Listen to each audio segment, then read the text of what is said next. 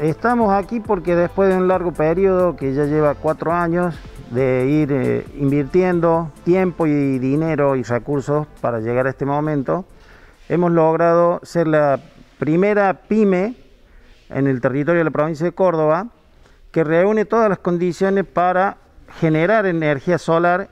y vendérsela a la red, entregarle a la red el excedente.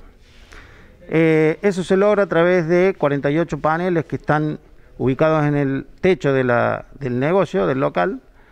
y con este inversor que tenemos a las espaldas, que es un inversor inteligente, que lo que hace es tomar la energía que fabricamos a través del sol, usarla en nuestro consumo y si nos falta tomar de la red lo que necesitamos para cubrir nuestra necesidad. Y en caso contrario, de que no estemos usando la, energía, devolverla a la red. Es decir, eh, el excedente que generamos se lo entrega a la red y la red nos bonifica esa energía de excedente. Esto está de la mano de una ley que se aprobó hace unos años en, la Cámara Legislativa, de la cual ha sido integrante el intendente de nuestra ciudad, de Sinzacate. Y bueno, nosotros hemos ido siguiendo todos esos pasos, cumplimentándolas hasta lograr tener eh, el permiso de, la ley para poder poner en marcha este equipo que va en conjunto con un medidor bidireccional que está en la calle, que es el que accede la persona que hace la lectura, que ese medidor lo que hace es que cuando recibe la energía da vuelta para el otro lado y resta. Y cuando entrega energía da vuelta para el otro lado y suma. A fin de mes se hace el más menos y bueno, vemos cuánto hay que pagarle a la cooperativa o a EP, que según el caso. Bueno, en este caso nosotros tenemos un generador de 10 kVA trifásico, que es lo que necesitamos para eh, eh, alimentar todo nuestro consumo. Pero también lo podemos llevar a un consumo domiciliario, de un, de un domicilio cualquiera, de dos habitaciones, una cocina y un baño, o sea, de 1500 vatios, por ejemplo. Em, para traducirlo, una casa es 1500 y si traducimos la potencia que nosotros estamos entregando, hay 48 paneles de 315 vatios cada uno, lo cual son 15.000 watts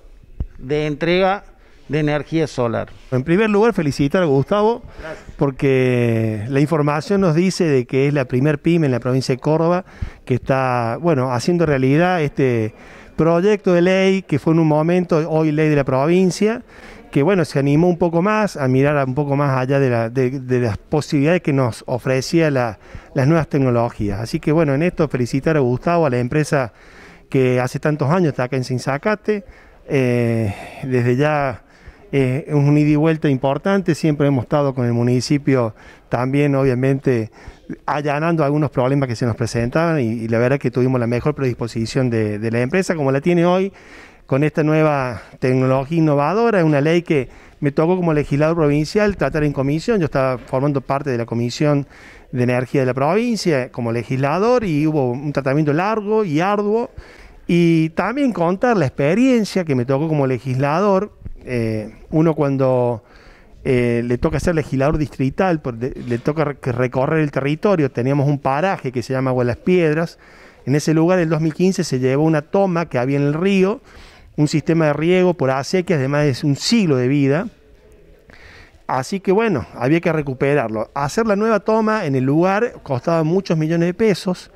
y se nos presentó el tema de energía solar. Bueno, yo curioso me fui al norte, a Pozo Nuevo, a ver un sistema que había de riego con, energía solar, de bombeo, y nos animamos a armar un proyecto con gente de agricultura familiar y presentamos ese proyecto, la provincia nos ayudó, la Sociedad Rural de Jesús María nos ayudó en su momento también y conseguimos financiamiento del INTA. La cuestión es que hoy, bueno, esas cuarenta y pico de familias tienen solucionado el sistema de riego con una estación de bombeo con energía solar y la verdad que yo recién le decía, parece un milagro, digo que con tan solo el sol pueda avanzar y, trabajar todo este sistema, uno ve tan, todo el agua que es capaz de bombear eh, con energía eléctrica producida por el sol. Entonces, eh, lo barato que es y, la realidad que cambia eh, en este territorio. El detalle principal es saber qué consumo tiene la persona que quiere instalar este equipo para de acuerdo a eso buscar algo acorde a ese consumo. Entonces, primero se hace un relevamiento del lugar, se ve qué consumo tiene, ya sea de bombas, de computadoras, de iluminación, y en base a eso se elige qué equipo poner para que sea acorde a ese consumo, ¿no es cierto? Hay que buscar la inclinación y el ángulo correspondiente para que aprovechar la mayor cantidad de sol durante el día que den en los paneles. Entonces ahí tenemos mejor este,